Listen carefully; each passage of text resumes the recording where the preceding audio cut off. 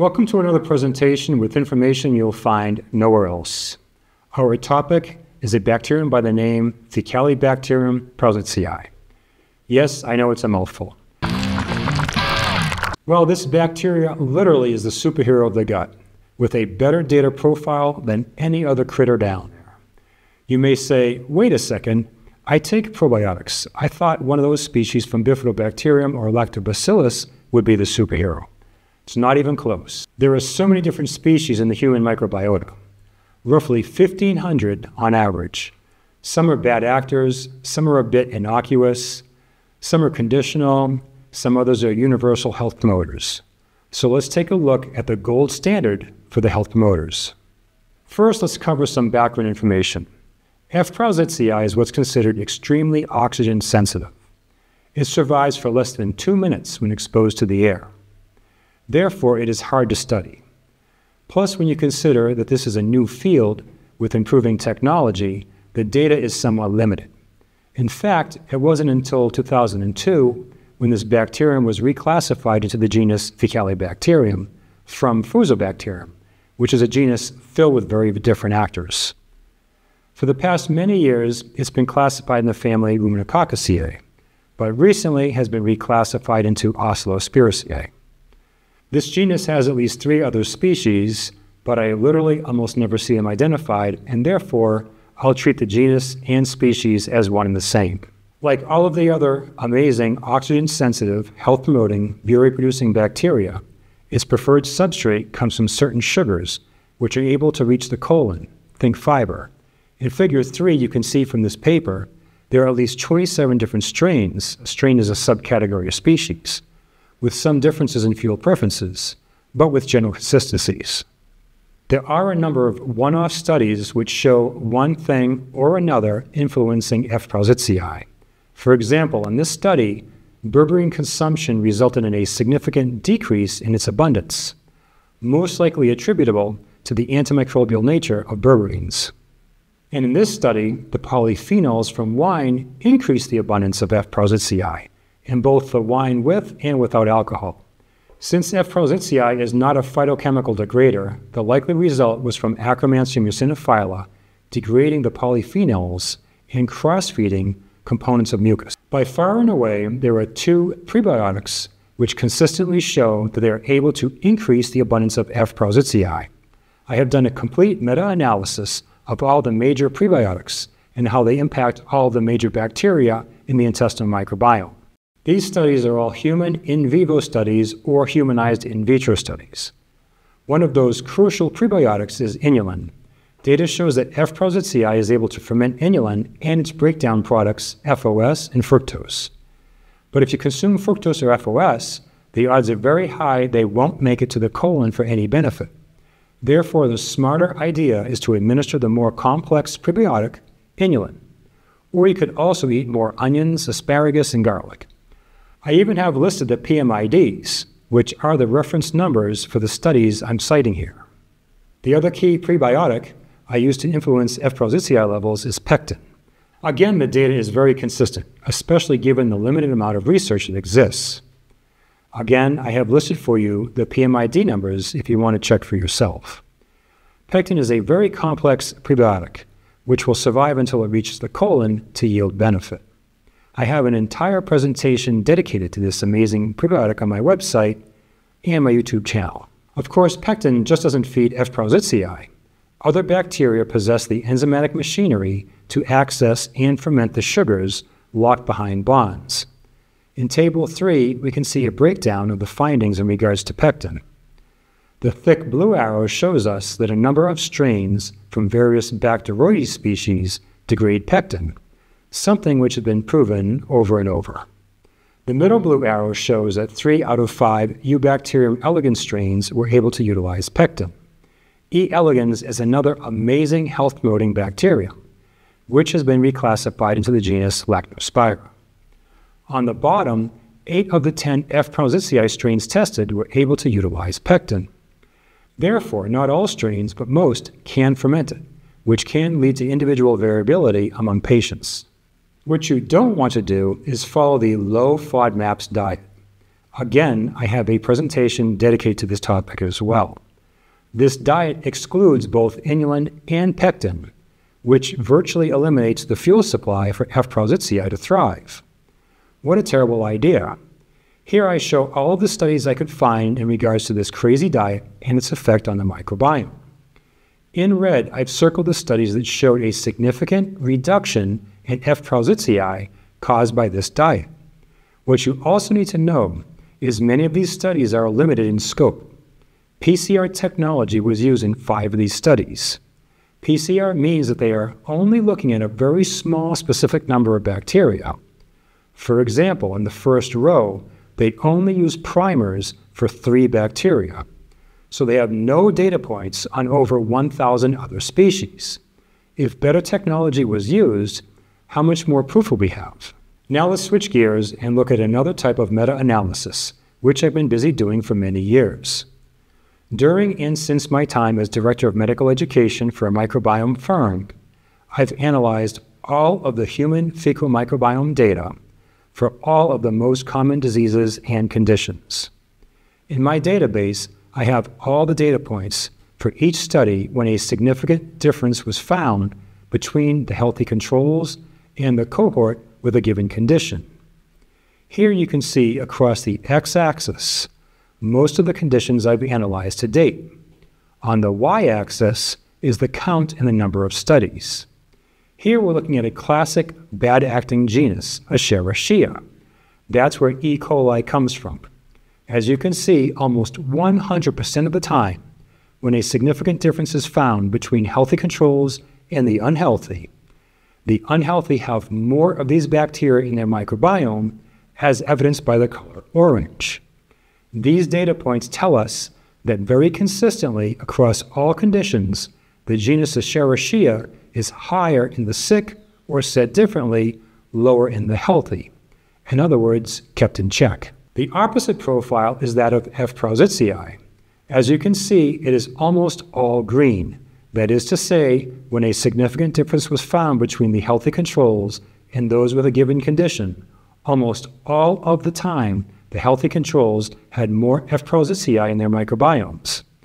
This data is the most consistent combined with the most data points among any other bacteria in the gut. Now let's take a look at some of those conditions individually.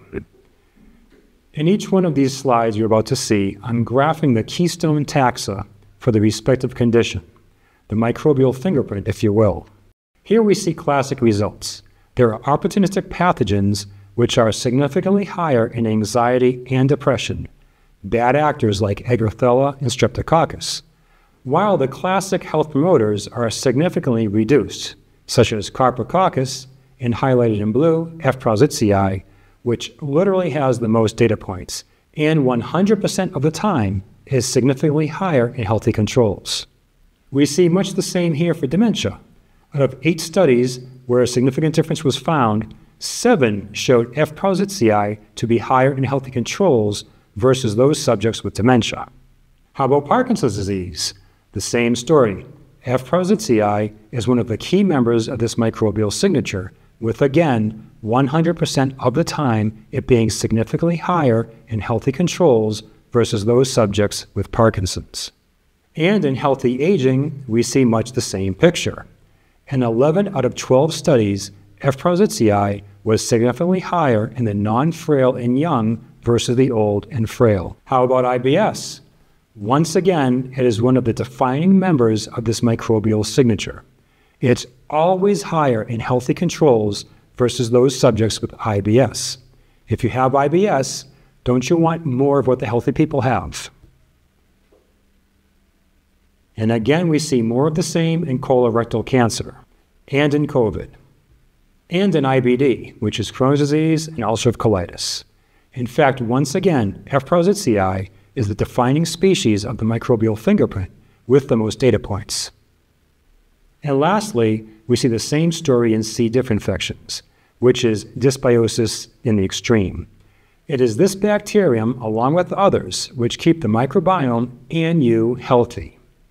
If these health promoters are reduced due to antibiotics, PPIs, and or bad diet, then the opportunistic pathogens become opportunistic. That's a recipe for disease. This is a slide you'll be seeing often in my presentations. This is the accumulation of thousands of hours of work determining the key players in the microbiome. Collected here are the great universal or almost universal health promoting taxa of the gut. These health promoting bacteria have been found to be consistently, significantly higher in healthier cohorts and significantly lower in the unhealthy ones across all diseases. You just saw most of them in the graphs I just showed you. The darker the green, the stronger the data as a health promoter. Out of a thousand or more species in your gut, this handful plays an enormous role in your health. There are a few health promoting genera not listed here, like Bifidobacterium, Alistipes, and Odoribacter, which are in other phyla, but these listed here are the main determinants of health in the gut. These incredible bacteria listed can occupy a lot of real estate and perform many health promoting functions beyond the highly beneficial one of butyrate production.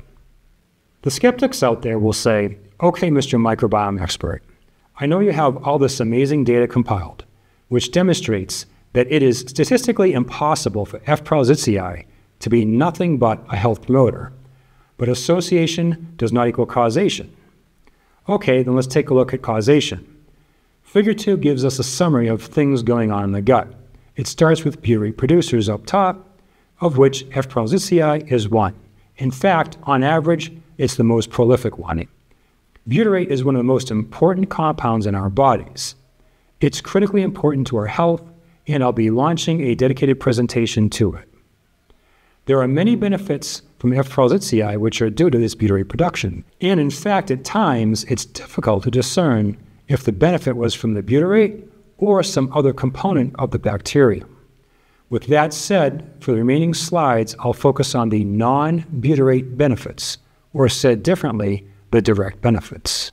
I realize that this is a bit complex, especially the immune system, which is just mind boggling. So I'll try to keep it understandable.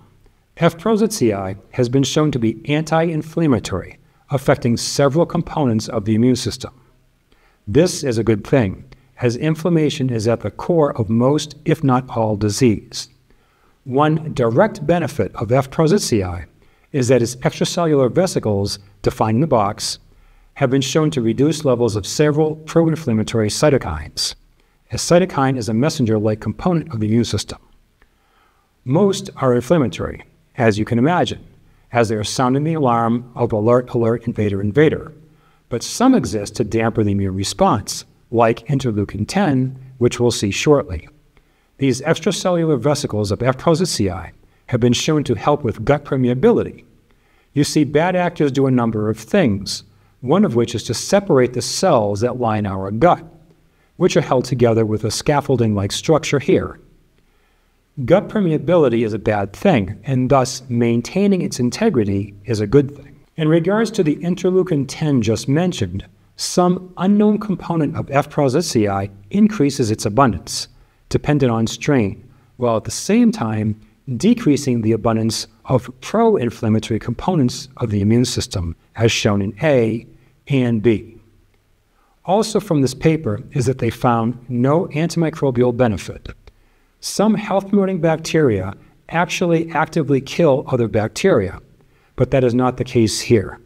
However, indirectly, via butyrate production, it does. In much the same theme previously, these researchers also found that a component of F. prausnitzii significantly increases interleukin 10, far beyond other bacteria as shown in D. Additionally, they also found no antibacterial properties like the others. And very interestingly, in figure 7, when colitis was induced in mice, when the supernatant, see the definition, was injected into the mice, their survival rate was wildly more successful than the other methods. There is some non butyrate compound yet to be identified that is highly beneficial. One molecule which has been identified is what's called a MAM protein, microbial anti inflammatory molecule. The molecule is only produced by F. prausnitzii. It's able to block a key aspect of inflammation, something called NF kappa beta. This MAM protein has also been shown to maintain the gut barrier. So, what is the gut barrier? Think of it as your skin, but on the inside. Your skin keeps out all sorts of potential invaders from gaining access to the inside of you. What if your skin had many small lesions? Then how protective would it be? Well, the same is true in the gut, only more complex. When we ingest foods, many different pathogens can and are a part of the meal. In addition, the amount of bacteria which reside in the gut is enormous. They all just can't have access to the rest of you. Your GI tract needs to break down and absorb the nutrients, while at the same time sort out the rest of the players. For good reason, some 80% of our immune system lines the gut. It's the primary route for an invasion, and bad bugs have developed ways to break through the castle wall and gain access to you. So F. prausnitzii is helping keep the wall standing. Another thing that F. prausnitzii has been shown to directly do is affect serotonin function. By now, everybody knows what serotonin is, usually thought of in terms of mood and sleep. But serotonin also plays many roles in the gut. In fact, most of all the serotonin in the body is found in the gut. Serotonin in the gut is transferred by what's called serotonin transporters. As we can see here, both F. prausnitzii and its supernatant, that's their word again, were shown to significantly increase the gene expression for SERT, in other words, make more of it. Lastly, in this paper, the researchers found that F. prausnitzii makes salicylic acid. Think aspirin. That's right, an anti inflammatory compound you can relate to. Salicylic acid is also a drug used primarily for ulcerative colitis. What's it used for? To reduce inflammation. You have a bacteria that can make its very own precursor for a pharmaceutical. Interesting, no? I hope you got an understanding of the value of this bacterium. It's not alone. There are many other wonderful health promoters, which you saw earlier. They don't exist as probiotics, but you can feed them the fuels they love.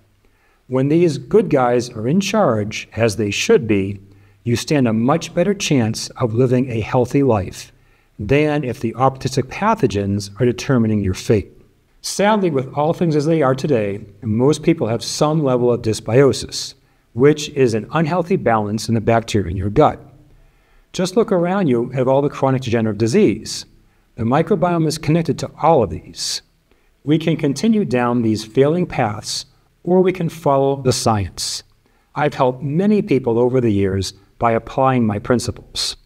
These people, on average, had been to see 10 practitioners before me, but to no avail. Sometimes their problems lasted many years, and yet I was able to turn their lives around in weeks or less. How is that? Welcome to a more intelligent approach. If you found this presentation informative, I have many more for free in my YouTube channel and also in the Microbiome University tab on my website, themicrobiomeexpert.com. There you can select from a wide variety of topics and if you or a loved one are struggling with a disease slash condition, I have condition specific presentations as well, along with their microbiome protocols found within its respective tab on my website.